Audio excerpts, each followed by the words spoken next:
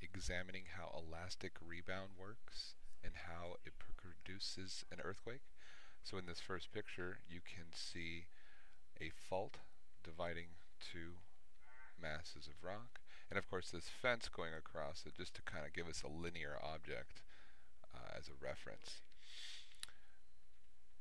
Along the fault, the rocks on both sides are always moving, but occasionally they can get stuck.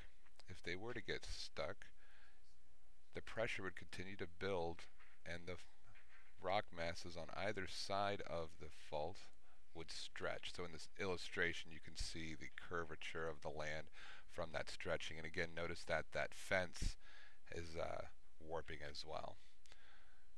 Eventually that stress will build so much that it will release and it will produce an earthquake. So just an earthquake is simply that release of energy from those moving plates.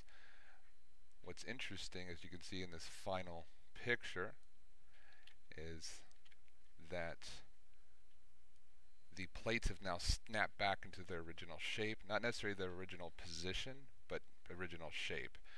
And with this fence, you can see that it has broken as a result. So hopefully you understand elastic rebound.